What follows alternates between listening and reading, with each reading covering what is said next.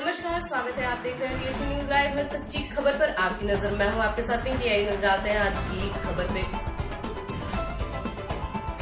आज रोहनिया विधानसभा के अंतर्गत महावीर जयंती पर ग्राम सभा फतेहगंज थाना लोहता के अंतर्गत महावीर जयंती मनाया गया, जिसमें मुख्य अतिथि डॉक्टर आलोक शर्मा, विनीत सिंह मोनू व बहुवजन समाजवादी पार्टी के युवा नेता सभी लोग सम्मानित किए गए। इस अवसर पर विनीत सिंह मोनू ने लोगों को दीपावली एवं छठ पूजा की हार्दिक शुभकामनाएँ दी।